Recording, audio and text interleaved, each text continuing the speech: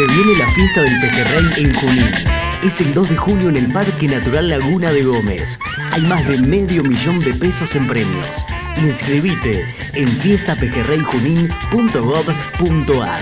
Junín te espera.